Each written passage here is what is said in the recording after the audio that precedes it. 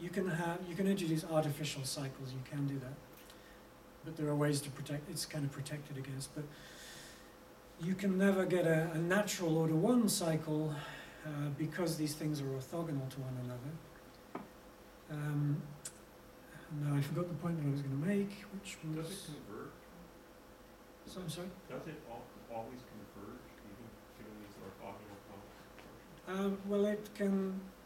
It either converges or it fails to converge. That's maybe sounds facetious, but it never. It can never go into a, a state in which it will never be able to converge. Um, no, that's not true. What am I trying to say? You've got to be careful about to get the, the wording right. Oscillation. Yeah. Right, so, well, and you can also have oscillations, but oscillations can be by design as well, right? You say, Yeah, but in this package manager example, he's given a, a really nice, kind of specific example. Right, The package manager has its defects that we can't change. We Mhm. want to deploy it using CF engine. Can I put it out on my data center and expect if I wait, if I'm patient enough, it will converge and correctly deploy? Or am I gonna suffer the inevitable weaknesses of the package manager and not be able to converge? the answer to that is unknowable. Uh, it's possible that CF Engine might be able to overcome the limitations of the, or the failures of the package manager just by luck, if you like, repeated luck, kind of like Monte Carlo approach. Um, but there's no guarantee that it could happen.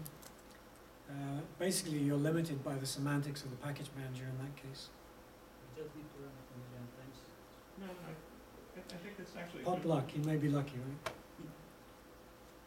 Well, I guess uh, technically, one of the package manager steps might effectively be a uh, non-compatible promise.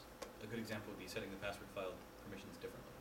Yeah, but that's a change, that's engineering the package manager behavior, which which I'm fine with doing.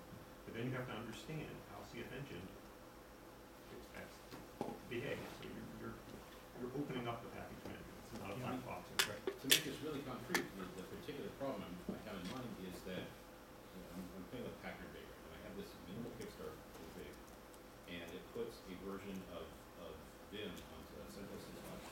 And when I get to a later part in, in the Vagrant stuff, and I wanna put Vim enhanced or GVim or something, it says, no, you can't, because Vim common is already, blah, and so I try to re- remove that, and it says, well, you got sudo depends on this, so there's all these dependencies on this thing that was installed very early in the Kickstart process. So that, that kind of, it puts a defect in there early on in the process, so I'm wondering how can, how do the innards of CF Engine, can, can, do they, is there a mapping that knows enough about Yum or RPM that recognizes, well, there's a dependency, and I gotta break this cycle, do this?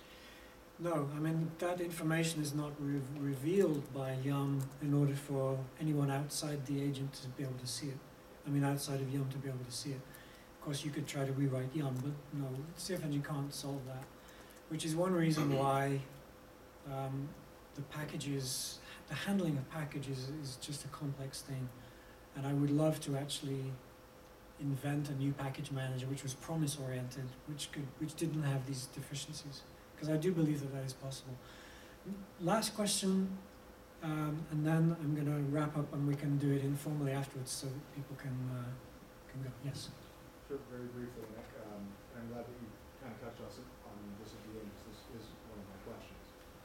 Is this, uh, uh, is, is, uh, I don't know, is it possible maybe for CF Engine to start considering, you know, managing packages in this far superior way than they are managing now?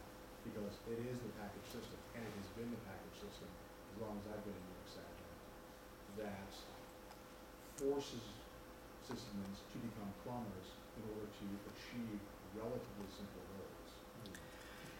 And I actually it's prom, you know, promise theory and what we see in configuration management now.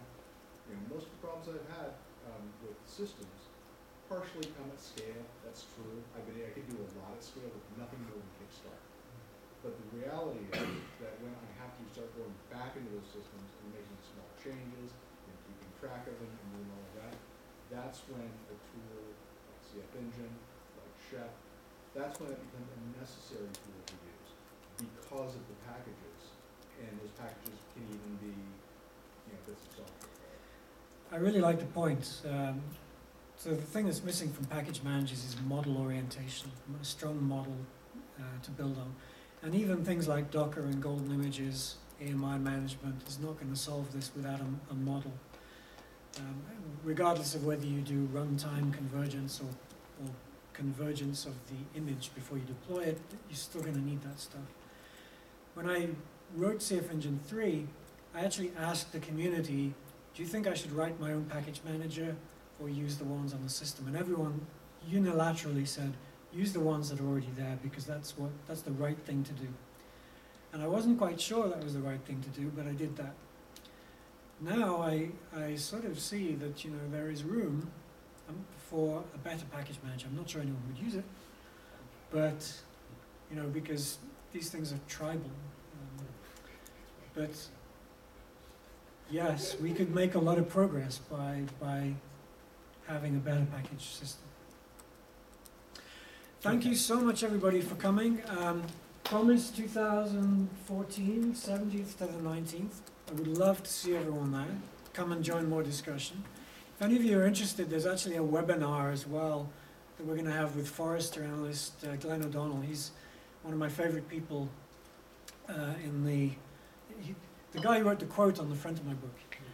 We are going to do a webinar together on promise theory and some of these ideas, and so you'll hear it from industry analysts as well, some of the challenges that are coming up. So fantastic uh, opportunity to join in on, on online as well. You got a couple of tickets to promise to give away. I've got a couple And of. also a book to award and then ten copies of Learning CF Engine three. I actually think I've done enough right now, and you've heard enough of me. So I'm going to say that Jonathan is going to help me Oh. to give away these uh, books and, and tickets. Thank you very much. Jonathan.